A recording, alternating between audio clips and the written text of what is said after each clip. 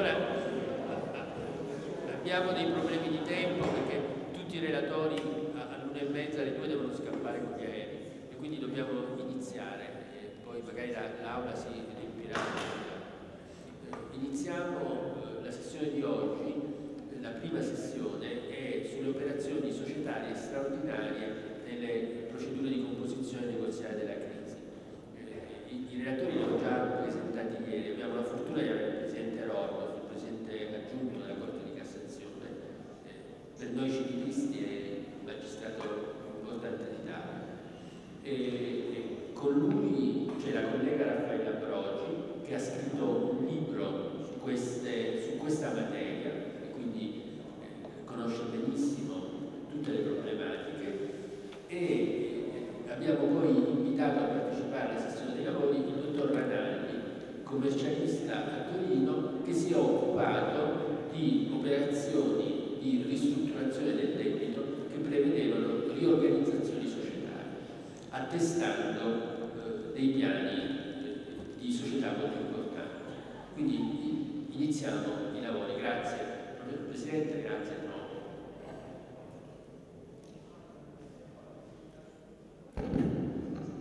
Buongiorno a tutti, grazie al Presidente Silvestrini per questa presentazione e grazie a Loci naturalmente per avermi invitato a partecipare a questo, a, ai lavori di questo seminario che come tutti i seminari organizzati da Loci hanno una connotazione eh, fortemente operativa, mi pare di poter dire, e quindi al di là dei ringraziamenti che comunque sono assolutamente sentiti e non di maniera da parte mia, eh, direi di entrare subito in medias res sul tema delle operazioni societarie straordinarie e continuità aziendale, che è uno di quei temi eh, nei quali, come è evidente, si pone la necessità di comprendere come funziona, se funziona, come funziona il dialogo tra diritto societario e diritto concorsuale, perché le operazioni societarie straordinarie sono operazioni che trovano la loro prima e ovvia base normativa nel codice civile, il quale codice civile peraltro le discipline, configura le disciplina fondamentalmente avendo di guida una situazione di eh, fisiologia, di relativa fisiologia, comunque sul presupposto implicito ma chiaro di società in bonus, non di società in crisi o addirittura insolventi. Mentre quando queste operazioni compiute e si calano all'interno di una situazione di crisi o di insolvenza e quindi devono coniugarsi con le regole una, de, de, della procedura concorsuale, in particolare per quello che oggi vogliamo mettere a fuoco la procedura di comportato preventivo, e possono determinarsi, si determinano effettivamente dei momenti di tensione tra questi due insiemi normativi che sono il codice civile da un lato e la legge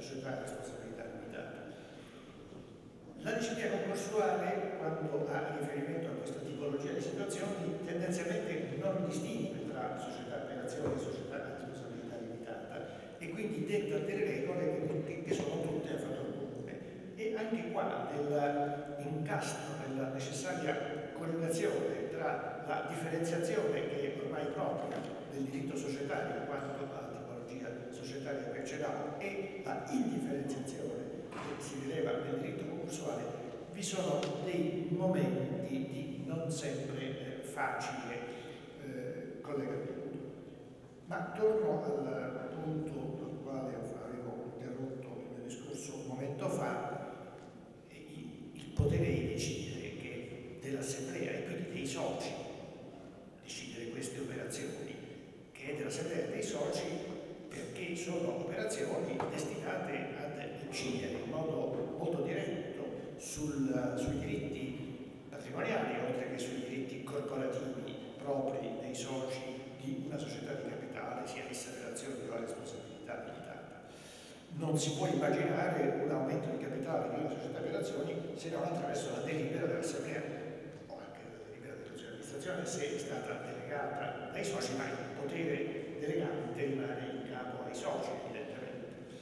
Allo stesso modo non possiamo immaginare operazioni di fusione o di scissione o di trasformazione, se volete, senza una delibera assembleare che, eh, della quale i soci assumano la relativa decisione, ricompresa quella di accettare o meno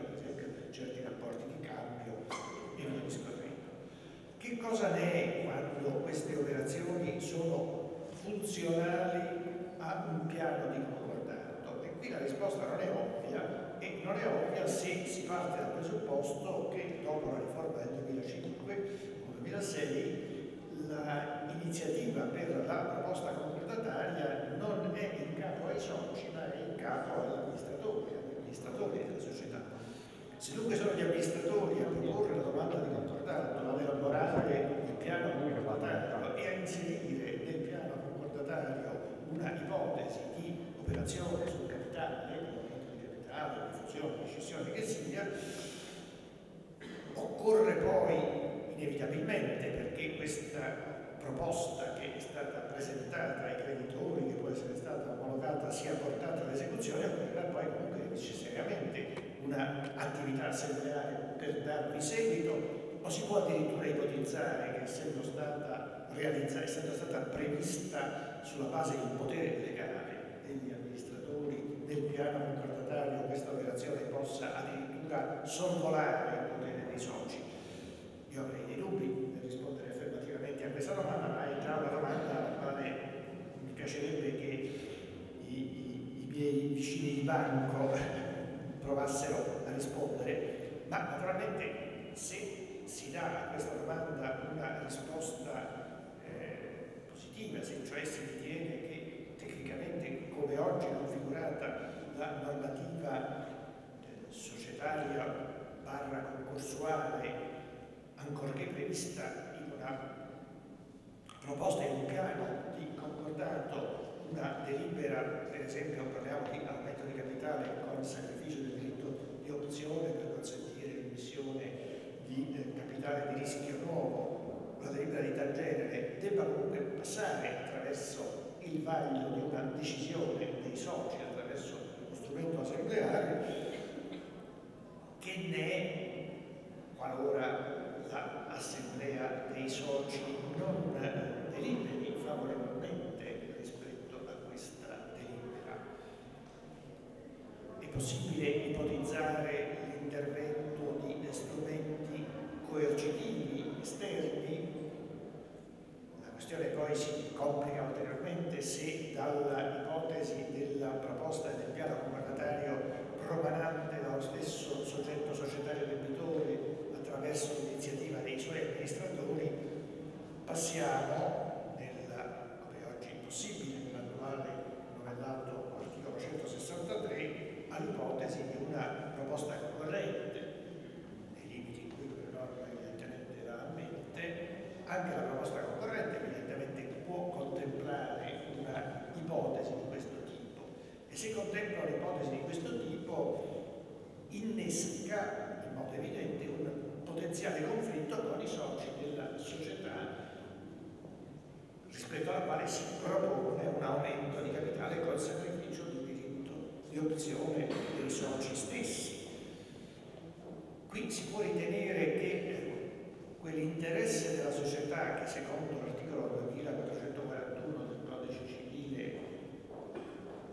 è la condizione per il sacrificio del diritto di opzione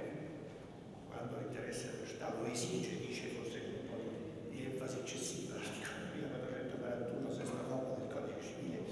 ecco che l'interesse della società sia impersonato, valutato non dai soci, ma dal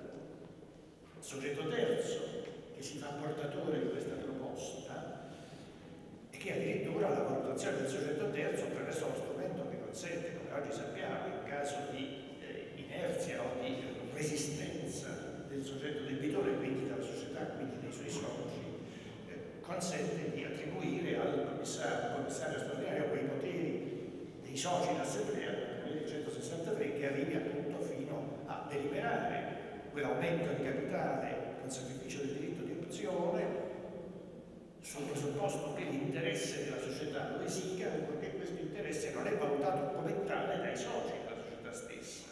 Il che, e qui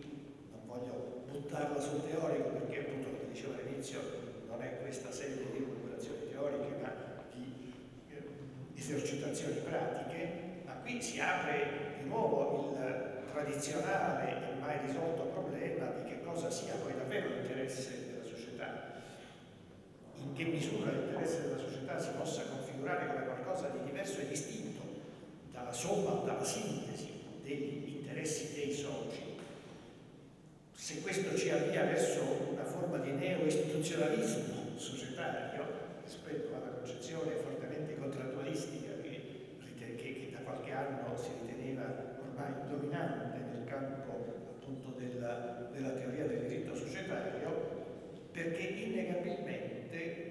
parrebbe che se si ritiene possibile arrivare a un'operazione di questo genere con il sacrificio dell'interesse di opzione perché l'interesse della società lo esige contro l'interesse dei soci, quindi davvero l'interesse della società appare contrapposto all'interesse dei soci e su di esso prevalente, tanto che un altro soggetto, non più i soci, ma il commissario nominato dal Tribunale a farsene portatore, a farsene interprete a farsene interprete in termini che gli consentano di far prevalere la sua valutazione. Questo mi pare sia dire, tra, tra, i punti di maggiore interesse di, di questo fenomeno, come questo fenomeno fenomeno si riflette proprio sul, sul modo di intendere la nozione di interesse sociale e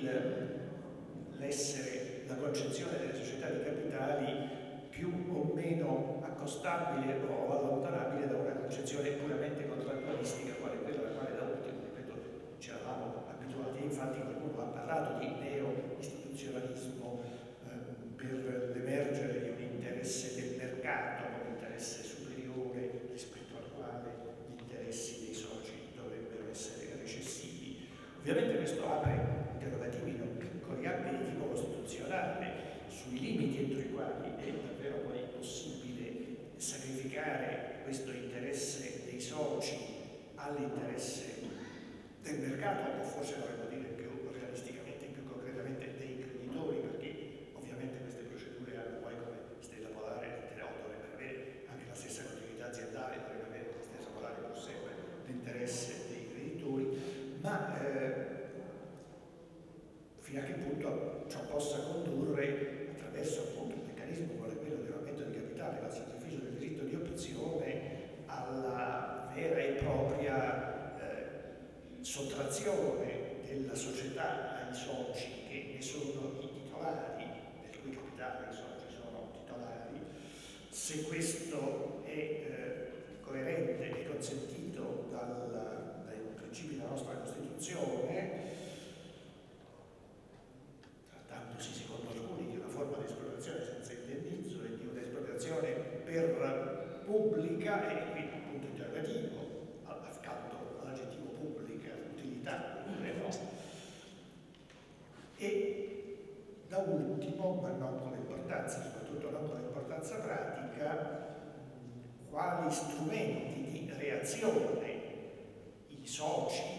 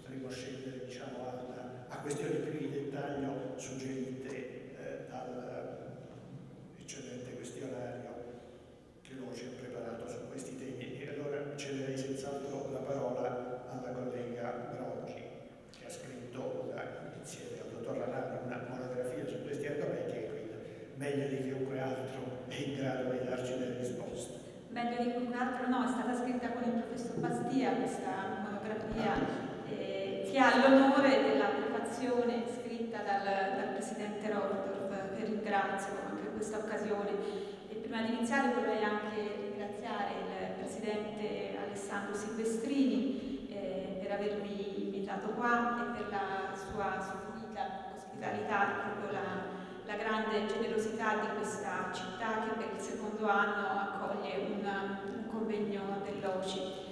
Eh, come è noto eh, è stato proprio al momento della riforma eh, della legge fallimentare nel 2005, quindi con la modifica dell'articolo 160 che recependo un modello di concordato detilizzato che si era affermato nella legislazione speciale in materia di amministrazione straordinaria delle imprese in crisi, quindi riferisco in particolare all'articolo 4 bis eh, della legge Marzano, è possibile eh, procedere alla soddisfazione dei creditori, prevedere che i creditori eh, siano soddisfatti in qualsiasi forma e, già questo sarebbe stato sufficiente far ipotizzare eh, l'ingresso delle operazioni societarie straordinarie nell'ambito del diritto concorsuale, ma in realtà il legislatore del 2005 eh, fa un espresso riferimento, comprese le operazioni societarie straordinarie, quindi anche alla fusione alla scissione e eh, con la possibilità di poter attribuire in quale forma di soddisfazione ai creditori anche eh, azioni eh, o altri eh, strumenti partecipativi o finanziari. Ehm, da qui eh, appunto si è avuto l'ingresso eh, di questa forma di dazio insolutum che può avere una pluralità di impieghi a livello pratico. Il primo eh, può essere appunto, come dice la norma, quello di fare un'operazione di aumento di capitale in modo da poter liberare eh, l'emissione di azioni eh, che possano essere eh, assegnate ai creditori per la loro soddisfazione. Un'altra possibilità e qui emerge anche la utilità delle operazioni societarie straordinarie, è che l'aumento di capitale possa essere eh, finalizzato a eh, consentire l'ingresso nella società delle risorse necessarie per il pagamento dei creditori. Un caso eh, concreto eh, che evidenzia bene questa possibilità è il caso Socoterm, dove è stato deciso dal Tribunale di Vicenza eh, nel periodo 2009-2010, lì noi abbiamo avuto eh, due proposte che si sono susseguite. Eh, nella prima era prevista l'assegnazione di una serie di obbligazioni però convertibili in un arco temporale eccessivamente lungo che quindi non consentiva ai creditori assegnatari di poterli eh, monetizzare, quindi collocare utilmente sul mercato e eh, era un'operazione che era eh, finalizzata essenzialmente a consentire mh, il mantenimento del controllo della società eh, da parte dei vecchi soci con una sostanziale di fatto traslazione del rischio d'impresa eh, in capo ai creditori. Ovviamente questa proposta, eh, così come formulata, non incontrò il consenso dei creditori e si passò quindi ad un'altra proposta che prevedeva un aumento di capitale di 50 milioni di euro sottoscritto da soggetti terzi che acquisirono conseguentemente il controllo del 95% della società. E quindi eh, su questo punto già noi vediamo questa forma appunto eh, di, di, contrasto tra i soci detentori della maggioranza del capitale o comunque eh, della quantità di capitale necessaria per poter avere il controllo della società e, eh, e i creditori, creditori che eh, ovviamente nell'ambito di una situazione di crisi eh, diventano gli effettivi fornitori del capitale di rischio, tanto più nell'ipotesi in cui questo sia eroso. E quindi eh, questo, questo, contrasto pone eh, dei problemi di mh, mm, di eventuale dissenso del socio, fermo restando eh, che eh, eventuali modalità eh, di superamento del contrasto eh, di questo conflitto tra soci e creditori non può che avvenire in una prospettiva di bilanciamento degli interessi che deve essere collocata eh, su quello del piano della nostra norma, quindi della Costituzione, come già richiamato anche dal Presidente Rodolfo. Quindi noi abbiamo l'articolo 42 della Costituzione e qualunque modifica, eh, qualunque norma di legge che comunque anche nell'ambito di una situazione delicata eh, come quella della crisi d'impresa deve tener conto eh, di questo bilanciamento eh, di interessi. Con specifico riferimento alle operazioni di aumento di capitale, a differenza di quanto avviene nell'ipotesi della fusione e della scissione, eh, noi abbiamo avuto un intervento eh, recente da parte del legislatore con la riforma del 2015, eh, decreto legge 83 2015, convertito nella legge numero 132 del 2015 eh, l'articolo 163, quinto comma, eh, nel prevedere appunto le eh, proposte concorrenziali, eh, quindi questa nuova disciplina che ehm, dato ingresso alla concorrenzialità anche nell'ambito della procedura eh, di concordato eh, preventivo, ehm, prevede che la proposta concorrenziale del terzo possa avere ad oggetto anche un aumento di capitale. E non solo, mm, il legislatore eh, va anche a prevedere, l'articolo 182, ultimo comma, anche una disciplina per l'ipotesi in cui eh, venga votata dalla maggioranza dei territori la proposta concorrenziale del terzo che abbia ad oggetto un aumento di capitale e eh, i soci non diano eh, volontariamente attuazione, prima ancora di loro, gli amministratori, non convochino l'assemblea per poter deliberare l'aumento di capitale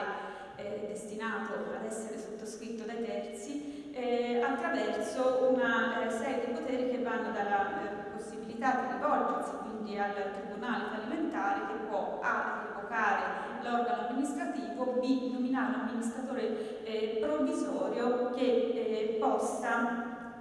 convocare l'assemblea e deliberare positivamente quindi l'aumento di capitale.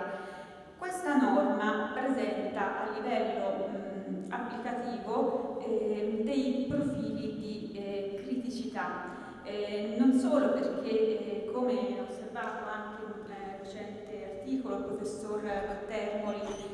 mancherebbe quasi un pezzettino, cioè si parla di aumento di capitale, ma poi dopo l'aumento ci deve essere la sottoscrizione da parte dei terzi, ma pone eh, un problema eh, in relazione alla circostanza che la proposta concorrenziale del terzo, ai sensi dell'articolo 163, quinto comma, può prevedere anche la limitazione o l'esclusione del diritto di opzione.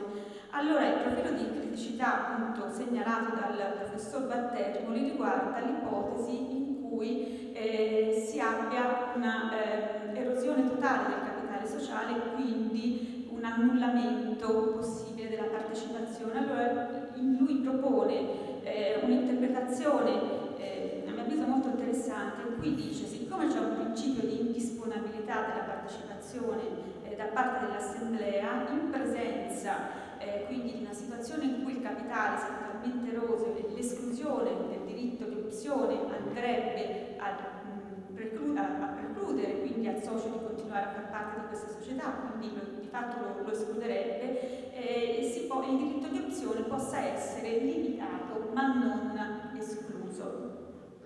Un secondo profilo di criticità che è stato oggetto anche di un quesito fatto eh, nel questionario dell'OCI riguarda eh, la questione relativa alla, mh, mm, alla tipologia di eh, azioni che possano essere eh, eventualmente liberate attraverso eh, l'aumento di eh, oggetto di proposta concorrenziale. in particolare è veramente interessante perché è stato chiesto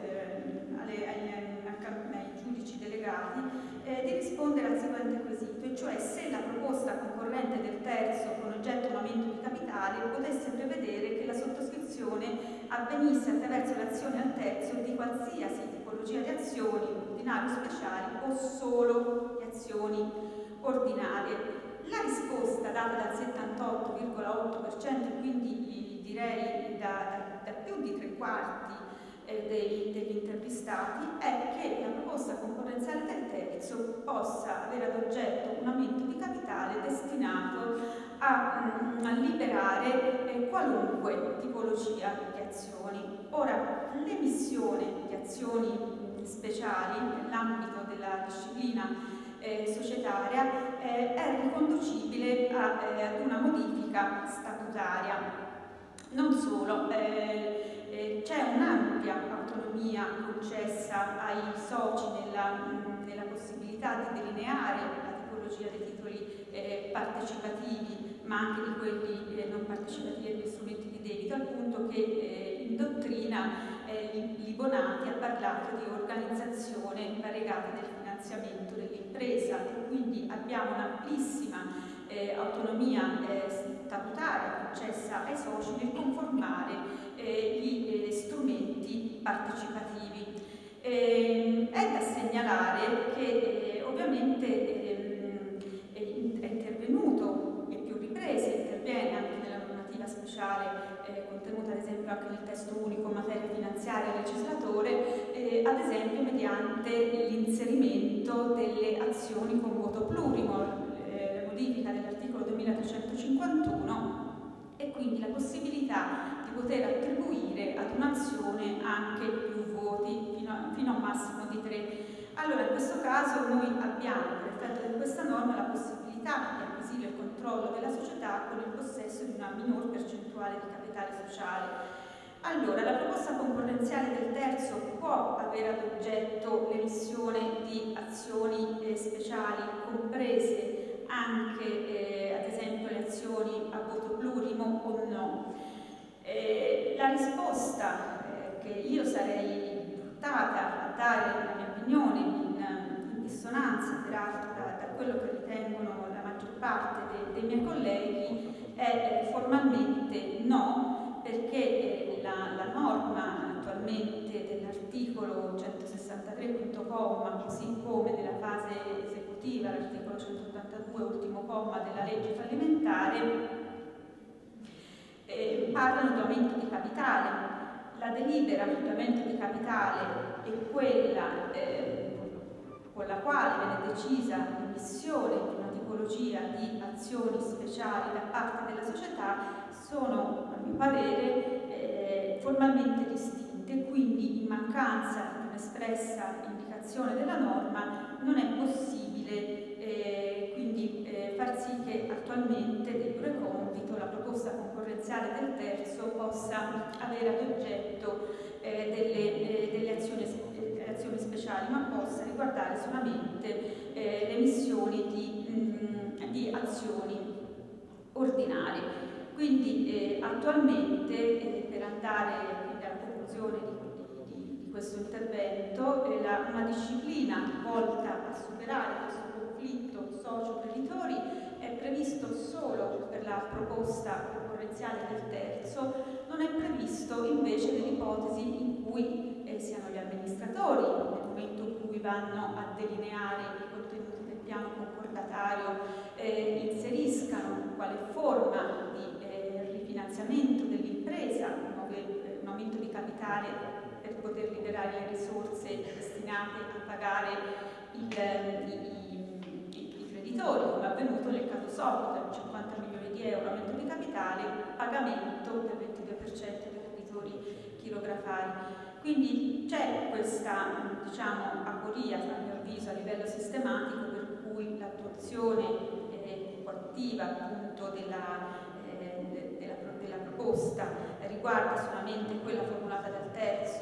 e non quella eh, da parte eh, de degli amministratori. Ci sono dei problemi già evidenziati eh, dal, dal, Presidente Rortov e anche in dottrina dal Professor Vattermoli circa questa eh, esclusione eh, del diritto eh, di opzione. Ehm, mi preme poi fare un'ultima considerazione eh, relativa alla circostanza che non necessariamente può esserci un conflitto tra soci e creditori e quindi conseguente alla perdita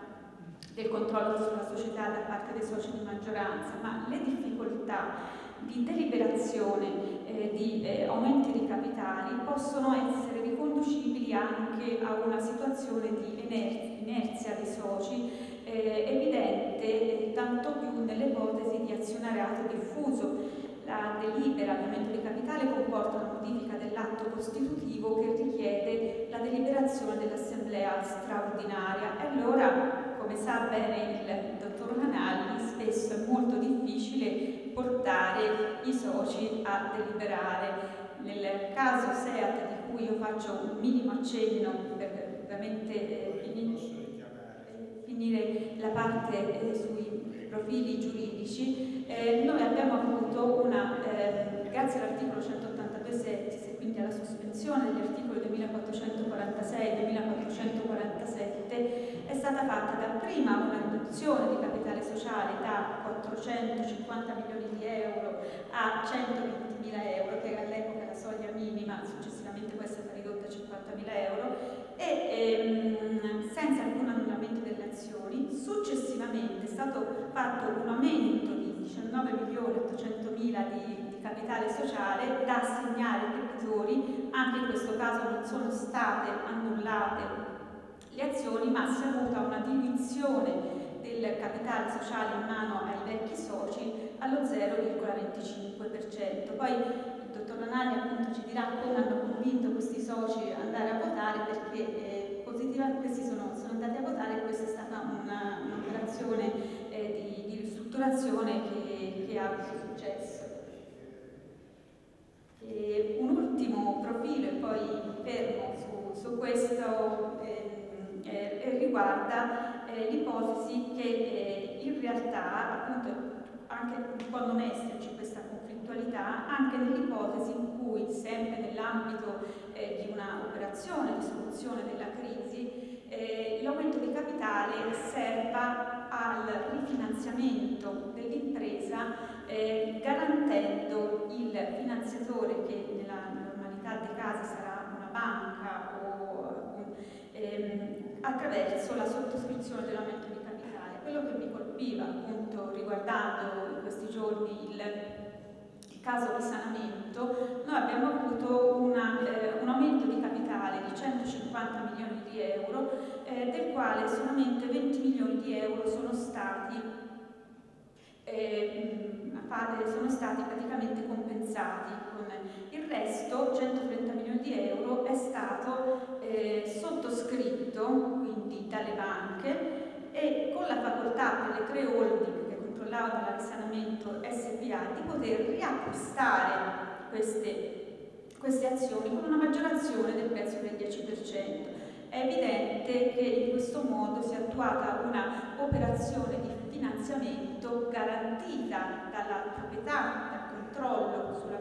sulla società da parte eh, di chi aveva eh, eseguito eh, questa operazione di finanziamento, evidenziando quindi come eh, il finanziamento con la garanzia della proprietà eh, possa essere attuato nell'ambito della normativa eh, societaria attraverso anche operazioni di aumento di capitali. Eh, ovviamente nella prossima sessione eh, noi vedremo che una eh, delle modalità per incentivare il finanziamento dell'impresa in crisi è l'articolo 182 quater e quintus la concessione della prededuzione, ovviamente quando si tratta di eh, fare un'operazione di finanziamento per importi così elevati, 130 milioni di euro, io dubito che eh, poi nella pratica, e astrattamente possa, tutto possa essere possibile, si faccia un'operazione eh, di così elevato eh, ammontare economico e quindi eh, il caso di sanamento, i ricordi di ristrutturazione del caso di sanamento evidenziano come la sottoscrizione di un di capitale da parte del finanziatore possa consentire anche eh, di conseguire il controllo della società eh, che potrà essere riacquistata una volta superata dalla la crisi eh, da parte dei soci originari che eh, ovviamente in, casi, in, casi, in, questi casi non possono che essere le, le holding di, di, controllo sul vecchio, eh, sulla precedente società. Grazie, queste sono osservazioni di straordinario interesse. Prima di passare la parola al dottor Renaldi, eh, posso farti una, una, una, domanda che credo tu abbia già risposto alle cose che tu hai detto, ma è per renderla a me stesso più chiara. Mi pare di capire che tu condividi l'ipotesi, la tesi, secondo la quale la disciplina del nuovo 163, quantomeno nel caso di offerte concorrenti che prevedano un aumento di capitale con sacrificio del diritto di opzione sia in qualche modo speciale, quindi prevalente sulla disciplina del codice in ordine alle condizioni che disciplinano la, eh, la possibilità del sacrificio del diritto di opzione. Quindi non occorre, se siamo in una SPA, occorrerà sempre una delibera assembleare che deliberi l'aumento di capitale oppure la si può ritenere del tutto superata questa esigenza e se occorre i soci dovranno valutare a loro volta l'esistenza di quell'interesse sociale o comunque di quell'interesse che esige il sacrificio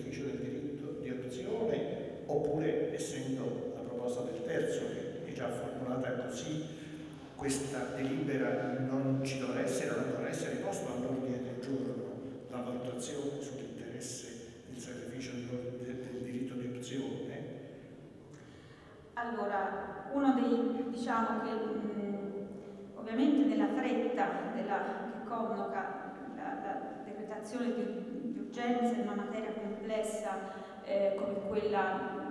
del diritto eh, fallimentare, già, presenza dei limiti, già presente di per sé dei limiti la decretazione di urgenza, quindi sempre una certa fretta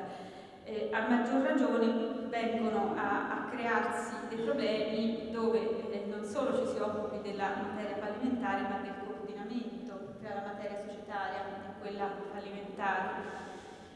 La sensazione è stata eh, sinceramente nel leggere questa norma è che al momento in cui si è scritta non ci, sia, non ci si sia posti il problema di tutta la disciplina societaria che, eh, stava, eh, che stava a monte, che, nei confronti della quale sarebbe stato auspicabile un maggior um, coordinamento. E, um, attualmente eh, ci sono questi, questi, questi, problemi perché senz'altro in fase attuativa dovrebbe essere eh, ovviamente convocata l'assemblea per poter consentire ai soci eh, di, di, poter, di, poter, deliberare. E, um, in fatto ci sono anche delle, delle criticità eh, in relazione al fatto che questi dovrebbero andare a deliberare un aumento di capitale che con l'esclusione del diritto di opzione di fatto eh, farebbe venire meno la stessa partecipazione. Problema è, appunto si colloca anche a livello costituzionale a mio avviso perché in realtà la partecipazione del socio è qualcosa distinto anche dal patrimonio della società perché è la società che risponde ai sensi del 2740 con i seguenti presenti e future. La partecipazione del socio potrebbe essere inserita nel piano concordatario come finanza terza, quindi il socio volontariamente dispone per l'assegnazione eh, delle, delle, delle, delle, in favore dei. E, però è, è, un, è, un, profilo, è, è un aspetto delicato e che non è stato risolto di fatto da, dal legislatore che, che, ha scritto una norma che sembra più quasi un principio di legge delega che una normazione di dettaglio sull'esecuzione eh, di, di, una, proposta del, del terzo. E, e inoltre il problema appunto perché si va a fare il 182 ultimo comma nella proposta concorrenziale e non invece nell'ipotesi in cui siano gli amministratori certo. ad aver, ad aver concepito questo questo aumento di capitale eh, con funzione soddisfacente. Se si potrebbe, non lo so, te lo chiedo, sì, immaginare sì. però una differenza di questo tipo allo stato attuale della normativa. Sì. Se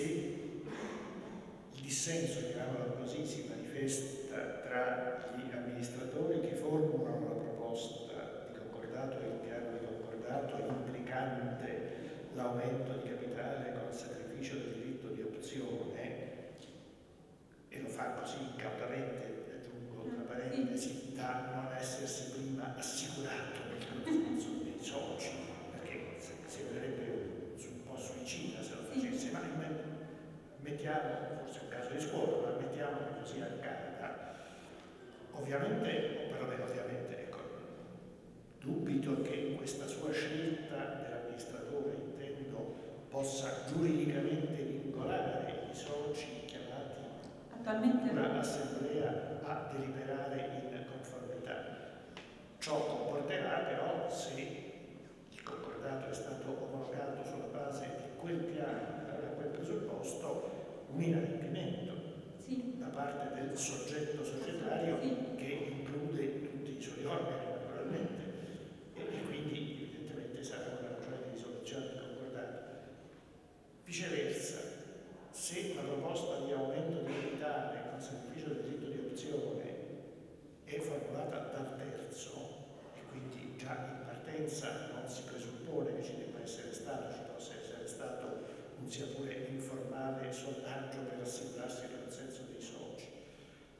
Ciò non esclude probabilmente la necessità di una convocazione dell'assemblea dei soci per deliberare l'aumento di capitale, sì. ma la norma consente di, di superare difetto di consenso attraverso la nomina del commissario sì. giudiziario cui vengono attribuiti i poteri dei soci, i poteri di voto. Sì. E quindi a quel punto al voto si arriverà magari in seconda battuta attraverso il, il, questa sorta di commissario ad acta che è nominato dal, dal Tribunale. Mi pare che ci sia questa differenza, non so se condividi questa, Sì, questa mia lettura, che ci debba essere una delibera, sì, lo dice il fatto stesso che è prevista la nomina di un commissario giudiziario al quale si attribuisce il diritto di voto, quindi vuol dire che ci deve essere un'assemblea. sì, diciamo, votare. diciamo che poi... Però si consente di far sì che il voto sia in qualche modo un voto coatto, diciamo così. Sì, ehm, tra l'altro dunque, l'articolo 185 che è al sesto comma dice, eh, parla di una cosa che mi ha colpito anche su questo punto, dice parla di revoca dell'organo amministrativo se si tratta di società e nominare un amministratore giudiziario stabilendo la durata e attribuendo il potere di compiere ogni atto necessario a dare esecuzione alla suddetta proposta, inclusi qualora tale proposta preveda un aumento di capitale, la convocazione dell'assemblea e la deliberazione. La cosa che è un'ulteriore appunto criticità che colpisce questa norma è che sembra sopperire quasi più a un'inerzia dell'organo amministrativo che non convochi l'assemblea e quindi procede alla sua revoca e alla nomina di un amministratore provvisorio. Il problema anche è, è laddove l'amministratore in realtà dia esecuzione alla proposta concorrenziale del terzo, convochi l'assemblea ma o non si formino i quorum di legge o i soci non votino. Certamente in prima battuta eh, io sono d'accordo che devono essere eh, convocati i soci e quindi eh, devono essere loro a, a disporre eh, svelamento di capitale che escluda il, il loro, il loro diritto di opzione. Eh, anche se secondo me una scrittura un po' più approfondita della norma avrebbe, avrebbe eliminato tutti i Di problemi. fronte a un'assemblea riottosa, l'amministratore la convoca, Sì. e l'assemblea non raggiunge il quorum o addirittura raggiunge ma eh, rigetta Sì. Si potrebbe ancora trovare, potrebbe ancora trovare spazio per un ulteriore segmento della norma del 187, quello che è in numeri che mi ricordo, che eh, prevede l'attribuzione al commissario non solo del potere di convocare l'assemblea, ma anche del potere di votare se non di convocare l'assemblea. Quindi provvedere a una riconvocazione dell'assemblea con l'attribuzione del diritto al commissario per consentire il superamento del- dell'ostruzionismo non solo in termini di non partecipazione o di non convocazione, ma addirittura di dichiarare la posizione dei soci, oppure questo ti sembrerebbe eccessivo. Allora, Non so se la sì, sì, sì, sì, no, l'unico, allora, qui eh, il sesto comma eh, parla appunto di revoca dell'organo amministrativo e quindi di convoca- di nomina dell'amministratore provvisorio, che cose. L'unico appiglio normativo, a mio avviso, per poter, eh, eh, per poter superare il dissenso eh, dei soci che siano stati regolarmente convocati eh, dagli amministratori per la delibera eh, di, di aumento capitale è al limite il quarto comma, quello eh, che prevede che nel caso cui il commissario giudiziale rilevi che il debitore non sta provvedendo al compimento degli atti necessari a dare esecuzione alla suddetta proposta o ne sta ritardando il compimento, deve senza indugio rivenire, al tribunale che sentito il debitore può attribuire al commissario giudiziale i poteri necessari a provvedere in luogo del debitore al compimento degli atti a questo richiesti. Certamente eh, si tratta eh, di una questione che avrebbe chiesto una maggiore focalizzazione perché prima andiamo, ci andiamo a muovere appunto su una- su- sulla partecipazione del socio, quindi un bene che abbiamo detto essere comunamente distinto dal patrimonio della società con il quale deve essere risposto all'adempimento obbligazioni di quest'ultima. Quindi eh, l'unico, eh, appiglio normativo secondo me è il 182, il 185 eh, quarto comma. E quindi, però insomma è, è- delicato perché qui si, si va a impattare eh, su, su principi di natura costituzionale, quindi forse Sì, certo. Eh, scusa, chiedo scusa al dottor Laragni, ma mi viene spontanea poi un'altra domanda in qualche modo collegata, cioè se parliamo di SRL, eh, nel caso dell'SRL la disciplina del diritto del, del sacrificio del diritto di opzione, come sappiamo, è diversa oggi da quella, forse anche in qualche aspetto della verità, comunque oggi in maniera decisamente diversa perché mentre nella SPA, come sappiamo, il diritto di opzione può essere di volta in volta certificato dalla singola assemblea quando l'interesse della società esige con tutta la il sovrapprezzo, l'informazione che forse qui sono superate con la normativa speciale, Sì. ricollocato da dentro. Nel caso della SRL il carattere più personale della società fa sì che non è un'assemblea che di volta in volta decide se certificare il diritto d'adozione, ma che questo deve essere previsto statutariamente. È lo statuto che deve consentire la possibilità di sacrificare il diritto di adozione e se lo fa deve dare il diritto di recesso come contropartita al socio. Di una SRL il cui statuto non, non contempli questa possibilità e quindi la quale statutariamente non potrebbe questa SRL contemplare il sacrificio del diritto d'adozione. I soci riuniti in assemblea non potrebbero, se non violando lo statuto, deliberare la soppressione, la limitazione o l'esclusione del diritto di adozione. Deve lo statuto. O lo statuto lo prevede ma col diritto di recesso. Opererebbe qui allora il diritto di recesso se lo statuto lo prevede e se lo statuto non lo prevede possiamo ritenere che la normativa introdotta nella legge fallimentare ciò non di meno consenta nel caso della proposta del terzo, e questa volta direi solo nel caso della proposta del terzo, ciò non di meno consenta al terzo di fare una proposta così fatta, anche se sarebbe per così dire una proposta antistatutaria. Allora, teoricamente... E tu prima all'altro proposito sottolineavi a proposito delle missioni di azioni speciali, eh, si può imporre il diritto d'adozione, ma no, non si può modificare dall'esterno lo statuto per prevedere azioni, eh, azioni speciali. Qui si può immaginare invece che si modifichi dall'esterno lo statuto introducendo un sacrificio del diritto d'adozione che lo statuto invece escluderebbe. Non so se l'avete Ho trovato capito, ho chiaro. capito, sì.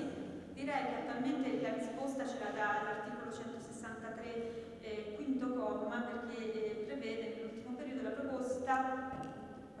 la proposta può prevedere l'intervento di terzi se il debitore ha la forma di società per azioni o a responsabilità limitata può prevedere un aumento di capitale della società con esclusione o limitazione del diritto di opzione. Nonostante qualsiasi cosa lo statuto prevede, questa è la tua risposta. Eh, sì, perché Sì, sì, c'è no. questa norma speciale che sì, Forse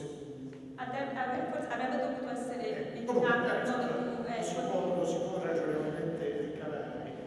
E rimarrebbe poi il diritto di recesso in questo caso. Allora, su questo non ci dice, non ci dice niente la, la, la legge fallimentare, non se ne è occupata e, e quindi eh, non essendo escluso secondo me rimane un diritto di recesso. Sì. Certo poi insomma il valore di questo recesso sarebbe Sì. da determinare, ma Sì. insomma. È tempo che io dia la parola al dottor Ranaldi, mi scuso di averlo trascurato fino adesso. Grazie Presidente. Eh, io innanzitutto voglio ringraziare per l'invito, ma principalmente per poter essere stato qui come uditore, perché eh, e nella giornata di ieri e nella giornata di oggi colgo numerosissimi spunti eh, di riflessione, ma che poi si traducono in momenti eh, operativi. E questo è forse il momento più importante degli interventi eh, convenistici. Eh, io non porterò stimoli, ma cercherò di, eh, dal lato mio, che poi è un lato meramente aziendalistico, molto operativo, di eh, rappresentare quali sono le difficoltà che eh, abbiamo incontrato nella vicenda SEAT e mi sono, mi sono, eh, trovato di fronte in altre eh, operazioni più piccole eh, caratterizzate da aumenti diversamente rispetto a quello SEAT che era il servizio della proposta concordataria invece al sostegno del piano, quindi con flussi finanziari che erano importanti per il sostegno del piano. Allora, un, eh, collocare correttamente SEAT è importante. SEAT è una realtà che all'epoca era, ancora oggi eh, non lo è più, all'epoca era una public company, non aveva un eh, source di riferimento, eh, mancava, eh, eh, aveva discontinuità nell'assetto manageriale, eh, nel senso che si era appena modificato il consiglio di amministrazione, il consiglio di amministrazione nuovo ha deciso che era insostenibile la posizione debitoria, questo è un elemento importante perché era obiettivamente indipendente nel giudizio, non doveva salvare nulla del passato e cercava di trovare una soluzione alle insostenibilità del debito e aveva un indebitamento mostruoso eh, che poteva essere risolto non con un pagamento in denaro, perché non ci sarebbero mai stati flussi al servizio del debito eh, di un ammontare tale da consentire una soddisfazione in quei termini, in un orizzonte temporale adeguato, co co compatibile con una proposta concordataria, eh, ma doveva trovare una soluzione con una conversione in eh, strumenti di equity. Eh, all'epoca vi era una società eh, controllante, holding, che aveva appena eseguito un conferimento in una eh, conferitaria controllata, quindi con tutte le responsabilità 2560, prestando garanzie ai creditori finanziari eh, fideiussioni eh, e, e eh, ulteriori garanzie eh, facevano sì che tutto il debito che si era trasferito nella conferitaria fosse anche nella conferente. E stiamo parlando di un miliardo e mezzo di posizioni debitorie nei confronti del sistema bancario. Debiti nei confronti dei fornitori del resto del sistema non vi erano, erano solo debiti correnti. Debito insostenibile. Eh, la soluzione più semplice era quella della conversione in equity. Poi eh, vi era una eh, controllante eh, quotata, valeva la pena mantenere la valeva la pena perché consentiva una way out al parterre di investitori finanziari che era veramente, di finanziatori che era veramente ampissimo, perché poi una parte del debito era radicato in bond che erano tutti poi collocati. E quindi vi erano fondi eh, speculativi, vi era di tutto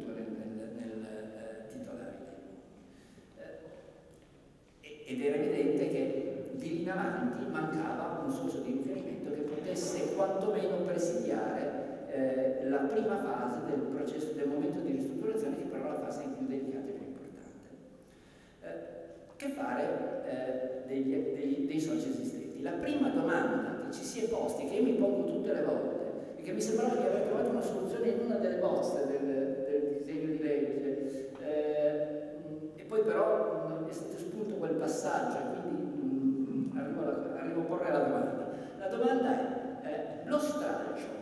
eh, rileva o non rileva i fini della determinazione del patrimonio netto esistente all'uscita del sexes e quindi al momento dell'omologa, quindi il patrimonio esistente riferibile ai vecchi, ai vecchi soci. Allora, inserti in una prima proposta concordataria, piano concordatario, eh, si era detto rileva e si era determinato il patrimonio netto residuante dei vecchi soci tenendo anche conto di questo elemento, in qualche modo di questo elemento. Eh, si era tenuto anche conto di una pronuncia, della pronuncia che io chiamo Consob Juventus, che eh, aveva mantenuto, aveva anzi eh, suggerito fortemente eh, alla società di mantenere nel capitale sociale i vecchi soci, gli azionisti di minoranza, ancorché si fosse in una situazione 2447, non azzerando integralmente il capitale sociale. Poi di lì era scaturita una eh, massima del Consiglio eh, notarile di Milano e, e, quello è un percorso che eh, nel caso SEAT ha appena funzionato. Si è scesi a 120.000 euro, che era il minimo legale, proprio per mantenere in qualche modo i soci in una seconda proposta. Perché? perché il Tribunale si era posto la domanda sul 2740. L'aveva posto solo come domanda, non aveva eh, detto non, eh, vi sono delle carenze. Aveva chiesto al commissario, dica al commissario se ritiene eh, che sacrificio ehm, che viene posto in capo ai creditori eh, con il mantenimento ancora del capitale sociale dei vecchi soci sia meno eh, accettabile. Eh, sotto questo profilo, eh, nel formulare la seconda, la seconda proposta, eh, la seconda, si, ci si è in qualche modo dimenticati del fatto che per effetto degli stralci della conversione, eh, cioè dei, dei meri stralci, non della conversione per carità, eh, si ripresentasse un patrimonio netto positivo e quindi si è andati su quella strada. Il problema era a quel punto incentivare il voto, far, far sì che i soggetti venissero a votare perché eh, mantenevano una partecipazione così contenuta che sarebbe stato eh, non possibile, eh, cioè non, non interessante. E, e, questo è stato ottenuto promettendo loro, eh, prevedendo loro una consentiva una sottoscrizione di eh, un aumento di capitale comunque contenuto a dei prezzi che erano mh, più o meno allineati con il valore che eh, veniva ad assumere la società per effetto della eh, strage della conversione. Bene, con questo eh, problema sul tavolo, la prima domanda che ci si è posti è d'accordo, ma noi non possiamo a questo punto attendere a deliberare l'aumento del capitale sociale e conseguentemente la fusione, perché la fusione era un presupposto, dovevo portarmi a questo punto l'indebitamento sopra per poter fare la conversione ed avere un unico veicolo e assegnare a questo punto le azioni della... Eh, vi era problema che aveva suggerito la fusione, che la controllante holding non aveva risorse proprie, quindi non era in grado di eh, adempiere una proposta concordataria che aveva un indebitamento rilevante perché poi le istituzioni, eh, quelle erano comunque eh, debito che, che, che gravava evidentemente sulla realtà soprastante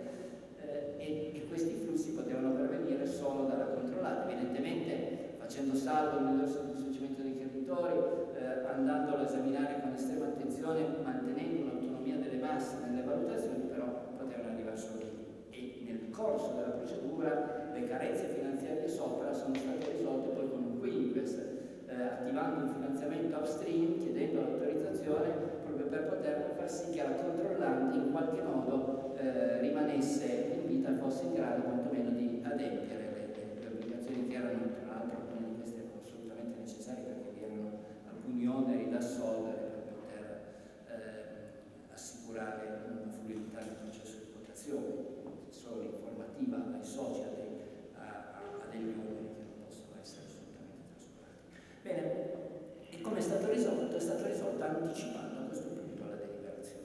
La delibera, eh, le delibere sono state assunte eh, con grande anticipo rispetto all'adunanza dei creditori. Non ci siamo fatti mancare nulla in seguito, perché eh, ancorché fossimo eh, ancora con la vecchia disposizione prima del, decreto eh, legge 83, noi abbiamo avuto anche una proposta concorrente. Una proposta concorrente che prevedeva un intervento in capitale sociale, che prevedeva ehm, sotto un profilo finanziario un trattamento migliorativo per i creditori, ma che il Consiglio di amministrazione con assoluta indipendenza e il commissario eh, analogamente hanno valutato non altrettanto solido sotto il profilo industriale. Eh, devo dire che hanno avuto ragione perché poi eh, il proponente ha avuto delle vicende eh, assai delicate sotto il profilo di sostenibilità finanziaria. Bene, eh, questo ha fatto sì che venisse assunta la deliberazione di fusione da parte del Consiglio di amministrazione perché era una società interamente partecipata, eh, le deliberazioni del, del, dell'Assemblea e tutto questo fosse poi eh, subordinato all'omologo con una successione temporale dove prima vi era in buona sostanza l'effetto dello stralcio, a seguire immediatamente la fusione e, e solo successivamente l'aumento del capitale sociale al servizio del, eh, della proposta concordataria. Questo per dire il caso SEAT, però eh, voglio invece soffermarmi su un altro caso che mm, c'è stata l'adunanza una settimana fa, quindi non faccio il nome della società, però è una società molto più piccola, dove il tema era non solo quello del eh, servizio eh, al, alla proposta concordataria, perché è stato risolto con uno strumento finanziario partecipativo, ma anche quello del sostegno della, del, del, piano. E quindi occorre un, un, aumento di capitali in denaro. Bene, eh,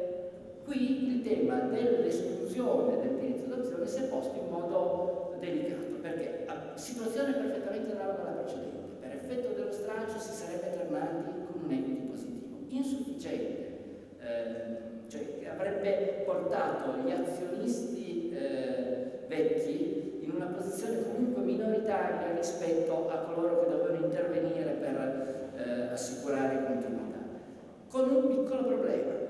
colui che, coloro che volevano intervenire non volevano trovarsi nulla, il vecchio socio al tavolo. È una situazione molto frequente nelle realtà di piccole dimensioni, è una situazione che in qualche modo è stata risolta prevedendo eh, non l'esclusione, perché eh, ci siamo posti il tema dell'impatto, della possibilità dell'esclusione in ipotesi di azzeramento del capitale sociale e l'abbiamo risolta con la rinunzia da parte dei vecchi soci. Peccato che i soci vi, fosse anche, vi fossero anche soggetti terzi, nel caso una società partecipata da Cassa Depositi e Prestiti, eh, e, e, il tema è stato risolto eh, attraverso una negoziazione del, del, terzo interventore, dove il terzo interventore, erano dei creditori e fornitori strategici, eh, hanno raggiunto un accordo per poter eh, soddisfare in qualche modo eh, le pretese dei eh, soci estranei e dei creditori privatizi estranei nella realtà soprastante ed assicurare a questo punto la rinunzia, il voto da una parte e la rinunzia al eh, relazione, all'esercizio del diritto di relazione dall'altra. Il eh, problema che mh, qui eravamo ante decreto legge 83 eh, e devo dire fortunatamente perché eh, era un altro momento delicato in questo caso specifico. Eh, le risorse finanziarie occorrevano con immediatezza, nel contempo qualche dubbio sulla eh, capacità finanziaria dei soggetti che intervenivano poteva sorgere, eh, almeno su una parte di questi. Era pertanto indispensabile che eh, l'aumento di capitale fosse in qualche modo garantito. Eh, in una situazione diversa si era ricorsi ad un finanziamento quinquies eh, eseguito dal soggetto che eh, inter sarebbe intervenuto nel capitale sociale eh, per poter ehm, assicurare a questo punto il, eh, anzi che era intervenuto, per, per, poter assicurare le risorse finanziarie per la sottoscrizione. Nel caso di specie eh, il momento ehm, di un finanziamento quindi nel momento in cui questi soggetti erano semplicemente creditori, non erano ancora in alcun modo coinvolti in capitale sociale, era un momento di delicatezza. Eh, ed abbiamo preteso una sottoscrizione eh, e, la messa a disposizione delle relative risorse eh, nel, alla società. Eh, la sottoscrizione di un aumento, però evidentemente subordinato ehm, all'avvenuta omologa, eh,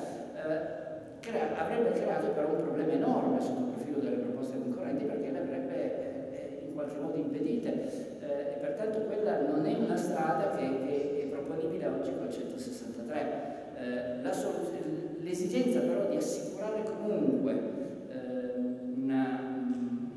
forza eh, adeguata nella, nella, nella uh, effettiva sottoscrizione dell'aumento del capitale sociale è un'esigenza concreta perché eh, se anche la delibera fosse assunta eh, la sottoscrizione fosse in qualche modo, eh, alla sottoscrizione si desse eh, seguito, ma poi non vi fosse l'integrale liberazione dell'aumento, il problema sorgerebbe. È vero che ci sono tutti gli strumenti previsti in materia eh, civilistica sotto questo profilo, però societaria sotto questo profilo, però il problema diventa poi un problema che si ribalta evidentemente sulla capacità di,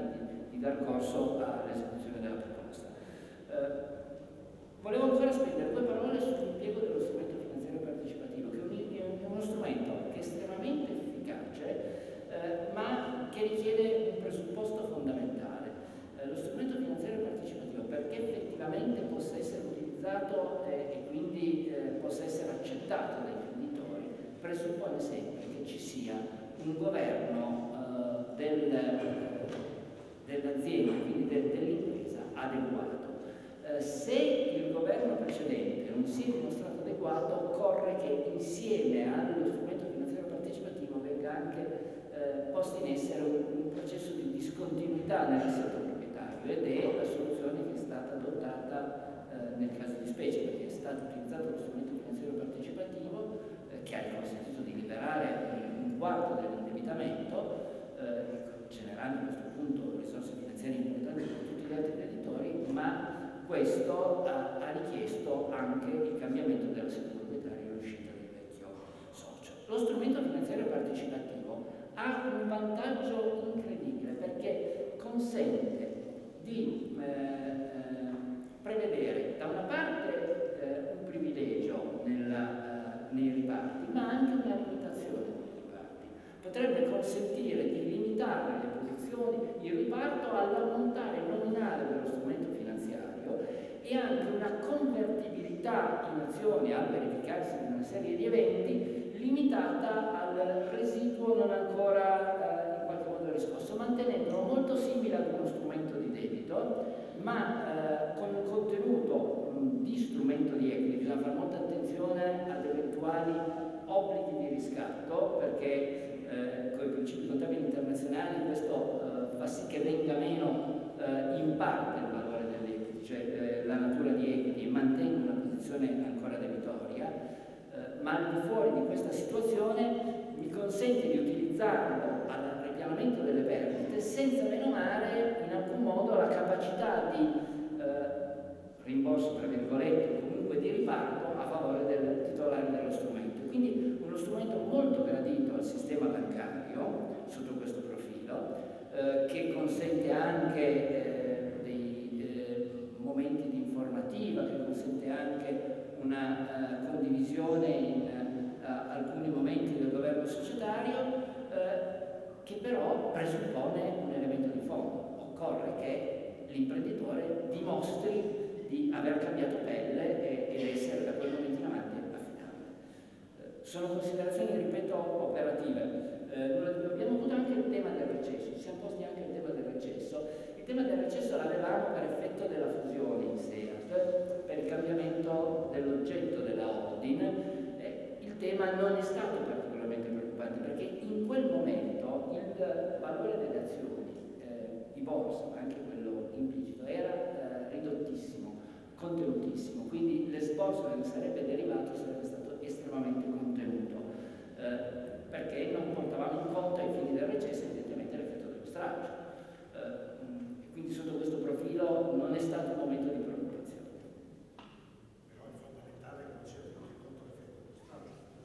che non sia tenuto in conto, perché nel momento che dovresti tenere conto a questo punto non stai bene.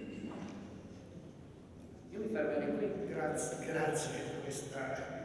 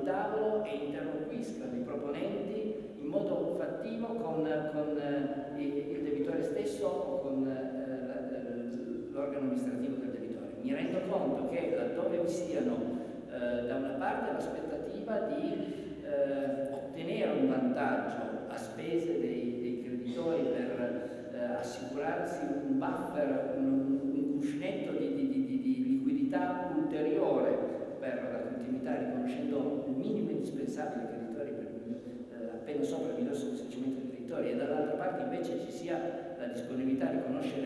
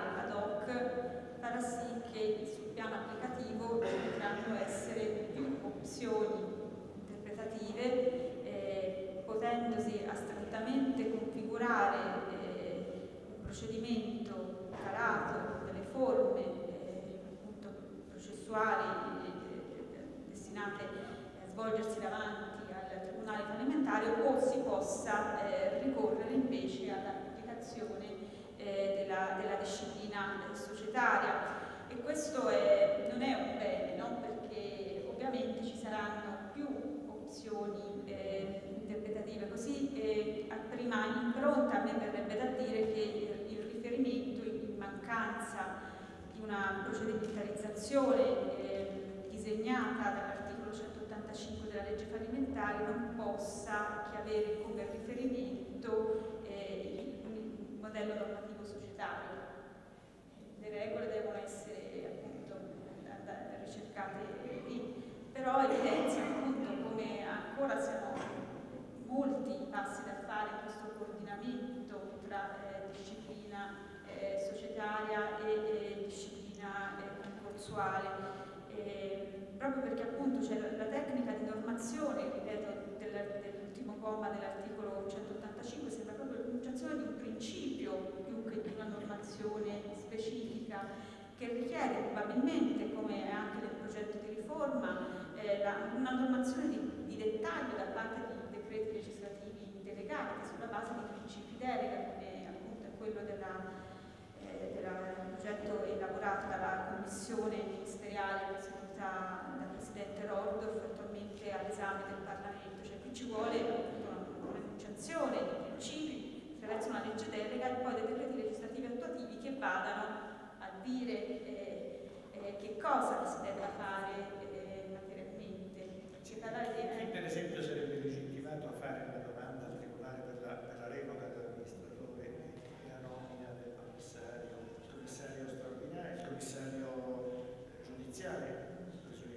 o anche il, il, terzo proponente che ha fatto la... O il terzo proponente, perché qui non mi pare che la norma... Sì, il commissario, il commissario giudiziario a mio avviso mantiene sempre questi poteri di vigilanza e quindi è legittimato eh, a poter chiedere alla, tribunale. In realtà secondo me anche il, il terzo, ma eh, teoricamente insomma forse anche i creditori destinati a essere soddisfatti con quella proposta concorrenziale del terzo. Eh, sì questo è un problema, è un problema aperto sullo sfondo del quale, ma come del resto poi anche le considerazioni che faceva il dottor Ranalli, c'è naturalmente il problema noto e ovviamente già dibattuto, sul quale forse adesso non mi soffermerei perché altrimenti ci porterebbe lontano,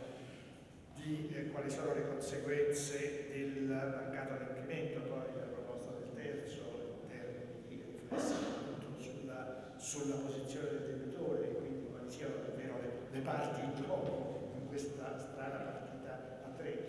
Non so della sua esperienza, dottor Orlando, lei l'applicazione del, diciamo, della struttura procedimentale dell'articolo 1409 a questa particolare situazione mi sembra, eh, ci, vede, ci vede dei problemi? Allora, io torno proprio al caso Seat. Eh, se eh, il percorso dovesse essere quello del 1409 non avrebbe risolto nulla, avevamo questo delicatissimi, tenendo poi anche conto che dobbiamo avere a che fare anche con il TUF, quindi il quadro normativo è sicuramente molto più complesso, gli interessi coinvolti sono assolutamente eh, ben più ampi. Eh, però se avessimo, mh, eh, cioè il tema critico lì era raggiungere il quorum in assemblea e non perché vi fosse eh, un diniego all'operazione, ma proprio perché non vi era interesse, ormai la, la realtà era, un valore residuo molto contenuto e assolutamente eh, difforme rispetto al valore effettivo, molto più alto perché poi erano figurine che si scambiavano tra, tra non avevano nemmeno la sensibilità, non era nemmeno più posseduta da fondi eh, edge, comunque da, da, da, da fondi speculativi. Eh, bene, l'interesse era assolutamente di superare lo scoglio assembleare, però eh, la revoca presuppone a questo punto una giusta causa. Nel momento in cui eh, il, eh, o, o, irregolarità, ma nel momento in cui non vi sia nessuna eh, violazione da parte degli amministratori e questi si stanno comportando, hanno convocato l'assemblea, hanno fatto tutto quello che devono fare, non riescono a raggiungere eh, eh, i quorum assembleari, che cosa può essere imputato loro sotto un profilo di irregolarità? Assolutamente nulla, quindi la storia del 2409 non sarebbe stata di per sé eh, efficace sotto questo profilo. Eh, no, no, e, e, sotto questo aspetto credo che eh, per riuscire a, eh, ad avere una cesura tra l'assetto proprietario e eh, l'interesse dei, dei, creditori eh, occorra passare oltre ruolo dell'amministratore e quanto può compiere l'amministratore, ma bisognerebbe eh, prefigurare a questo punto una valenza assolutamente eh,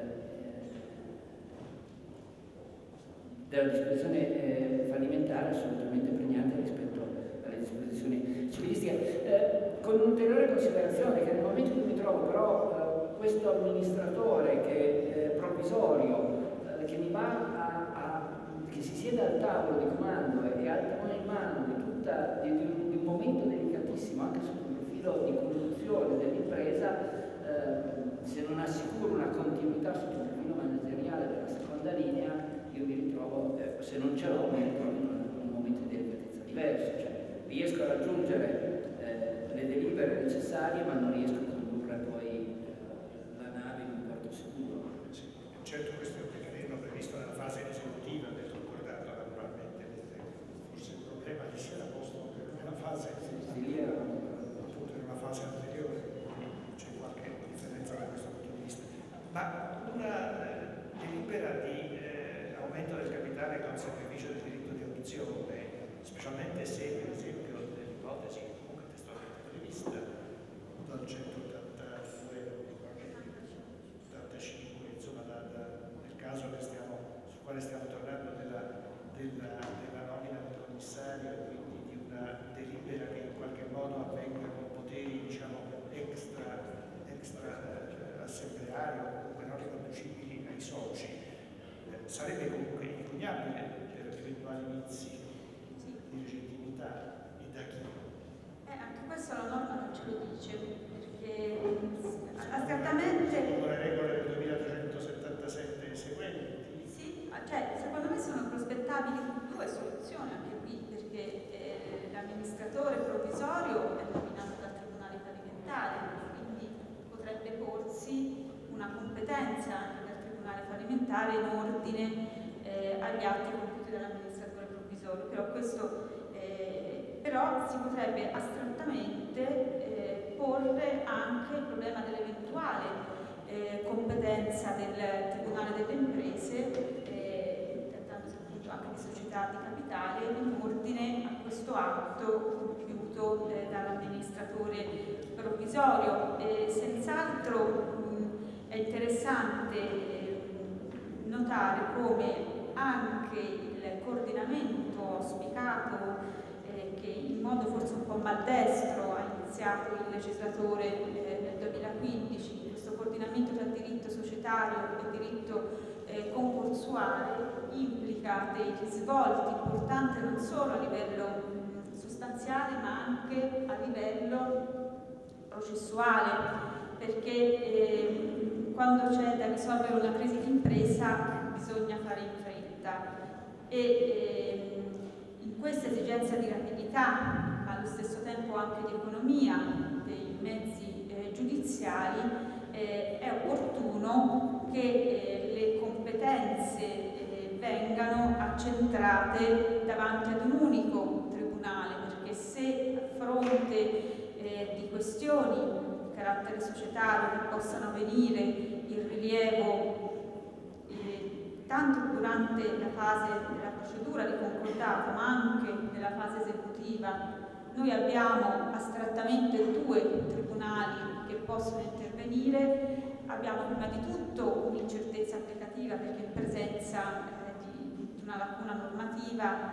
eh, ci potranno essere più eh, interpretazioni. Ma allo stesso tempo abbiamo proprio una diseconomia perché eh, due tribunali astrattamente possono convergere e, pronunciarsi su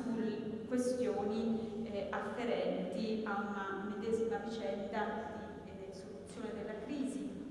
Eh, tanto è vero che il progetto di riforma, eh, appunto questo disegno di legge numero 3671, eh, che ha ripreso i lavori della commissione presieduta da lei, Presidente, ehm, eh, ovviamente fa una auspicabile concentrazione queste tutele tanto nei confronti dei creditori che anche nei confronti dei soci davanti al, al Tribunale fallimentare, eh, andando eh, a creare quindi anche una parziale trasmigrazione di competenze dal Tribunale delle imprese al Tribunale fallimentare nell'ipotesi eh, in cui eh, determinate vicende riguardino società in crisi che eh, ha fatto domanda, è stata ammessa ad una procedura concorsuale. Quindi qui c'è anche eh, un principio importante di economicità e di, e di rapidità eh, che deve trovare eh, una risposta anche in, in sede di riforma, perché altrimenti non sappiamo... Eh. Dal suo punto di vista lei come, come la vede questa opzione tra il, il ricorrere ai tribunali delle imprese, comunque ai tribunali competenti in base alla normativa societaria quando si tratta di impugnare per esempio la delibera di aumento di capitale con il sacrificio del diritto di opzione collocata all'interno del piano concordatario o il ricorrere invece al tribunale alimentare in termini anche di praticità, vorrei dire, oltre che accettabilità dei principi giuridici. No, io condivido assolutamente eh, l'esigenza di urgenza nell'attivazione del, del, del eh, processo eh, previsto nel piano eh, e mi spiego subito, e spiego subito il motivo. Eh, se l'impresa è in crisi, è in crisi per delle motivazioni d'ordine, in primo luogo industriale. Le motivazioni d'ordine industriale richiedono delle azioni specifiche che hanno una caratteristica quasi sempre comune anticipazione degli investimenti, comunque degli esborsi rispetto ai benefici che sono Se sono in procedura sino al morga, io investimenti non posso farne, perché se li faccio, li faccio con un grado di certezza, sottraendo risorse importanti ai creditori, eh, anche perché sono gli investimenti che più contano sono quelli evidentemente e, e sono portato sono, eh, a differire. È vero che potrei chiedere l'autorizzazione per il compimento di atti straordinari, ma però se questi atti comportano la sottrazione della più parte delle risorse disponibili per i creditori, ecco che diventa un momento di grande, in ipotesi discontinua evidentemente, un momento di grande delicatezza. Eh, rinviare mh, eh, anche di sei mesi, un anno, queste iniziative può comportare che eh, il paziente che era in uno stato precomatoso scivoli in uno stato comatoso e mi scivoli nel corso della procedura, quindi sarebbe eh, estremamente delicato. quindi tra le due è se più spedito al percorso, evidentemente lei, lei, se non ho capito male, sta ipotizzando comunque situazioni nelle quali questo tipo di, di operazioni addirittura possono intervenire prima del morto. Eh, allora, no, sto pensando a... No, no, certo, certo, certo, nella fase esecutiva, nella fase esecutiva eh, la situazione non è diversa perché eh, è vero che potrei fare eh, ricorso a, ai, eh,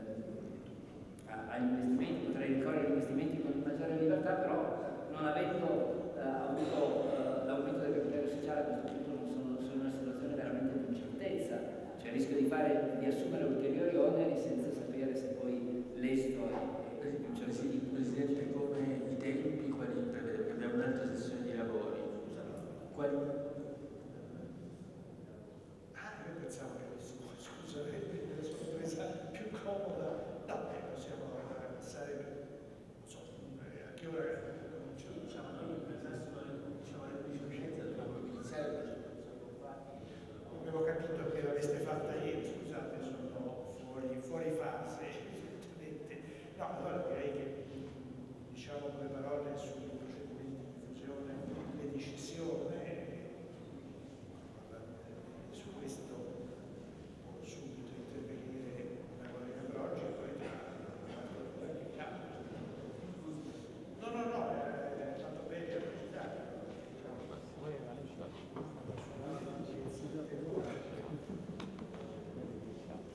Dunque, eh, mi, mi cronometro 5 minuti così almeno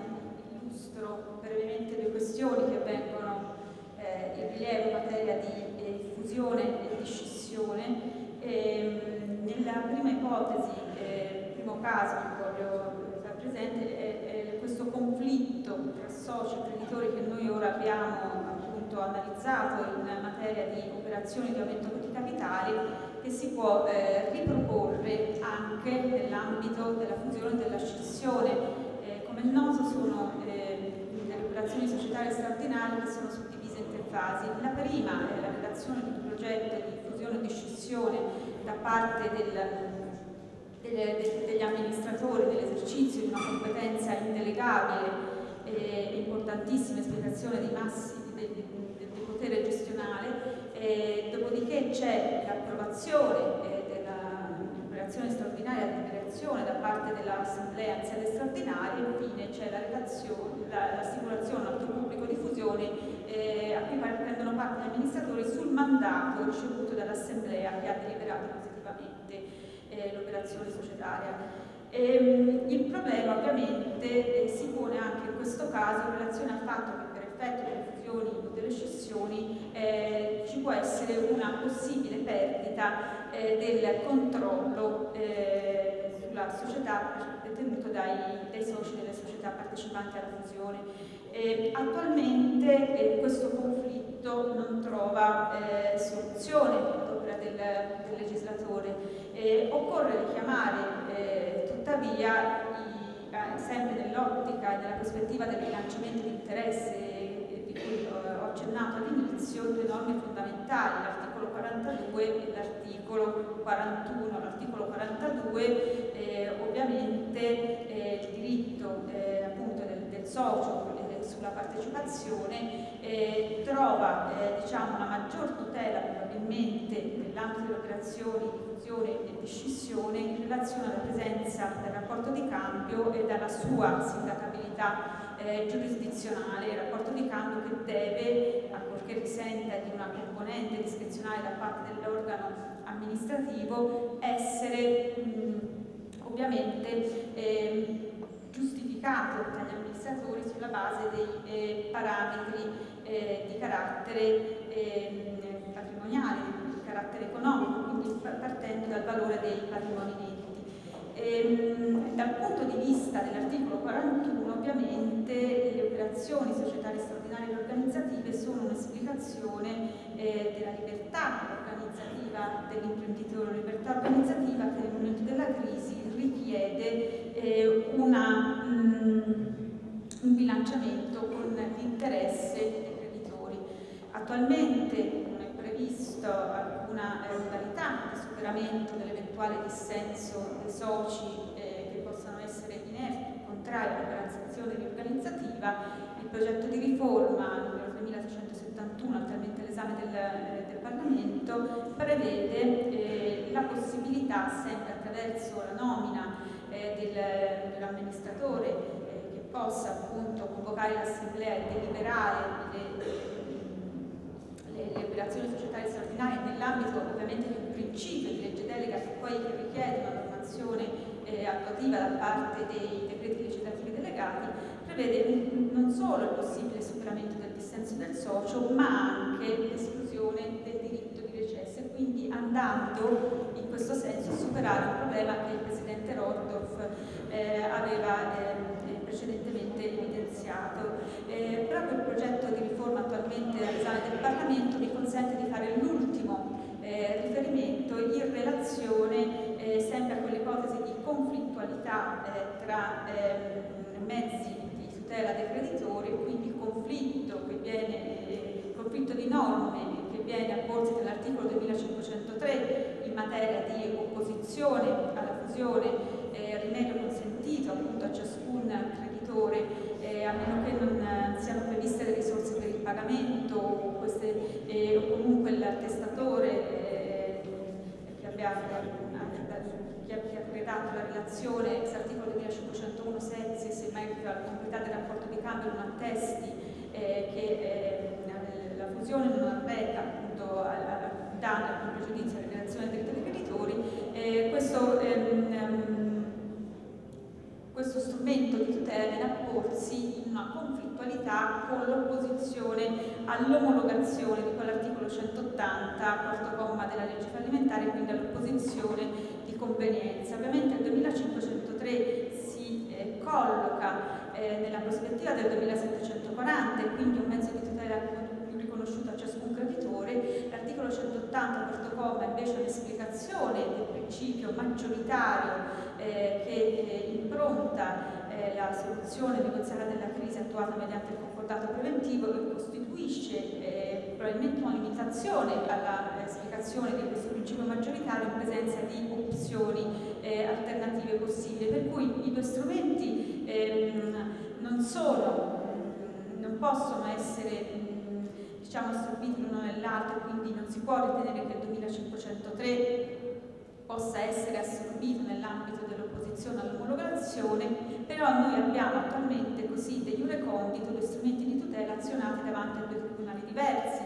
l'opposizione ex articolo 2503 davanti al Tribunale delle Imprese l'opposizione ovviamente all'omologazione davanti al Tribunale fallimentare. Da qui anche l'opportunità che questo eh, conflitto tra questi due strumenti importanti di tutela eh, nei confronti dei creditori possa essere eh, risolto attribuendo la cognizione di queste eh, questioni, quindi la tutela dell'articolo 2740, il principio di responsabilità patrimoniale 2740 ehm, e l'alternativa la, la, di convenienza eh, oggetto eh, dell'opposizione di quell'articolo 180 quarto comma davanti a un giudice che eh, nella prospettiva di riforma del disegno di legge attualmente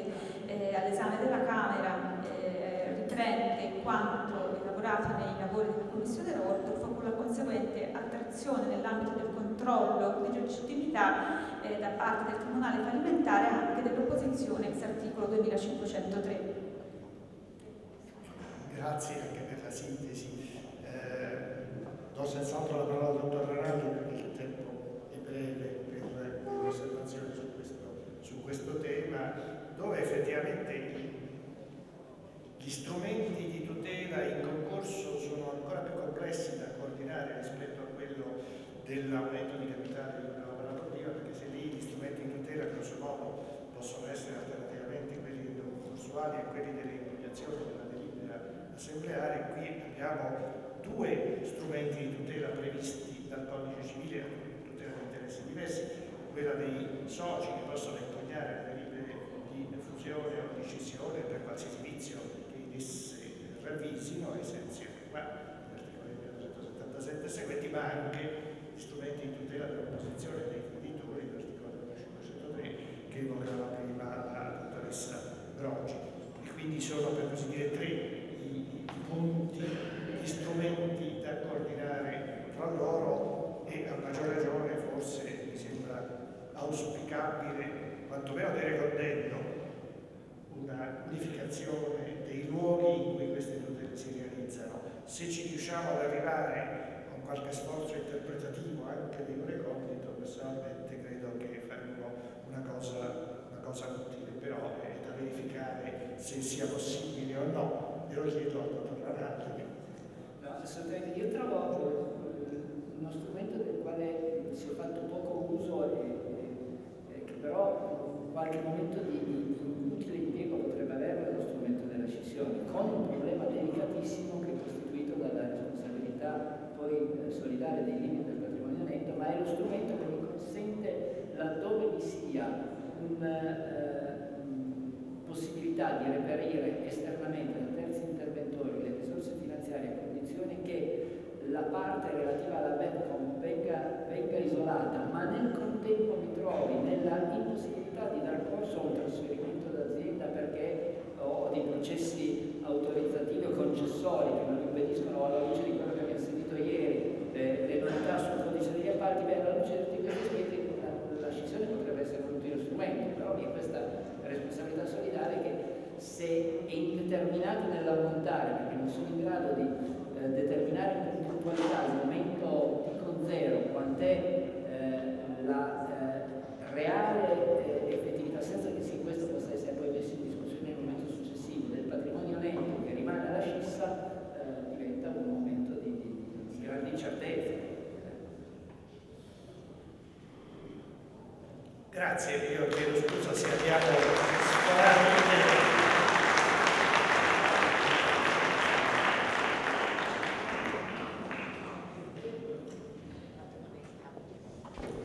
Il tempo è tiranno, io suggerirei di andare avanti senza soluzione di continuità. E proprio chi non, chi non riesce a non prendere il caffè vorrà dire che si allontana silenziosamente, lo prende, ma dobbiamo proseguire direttamente.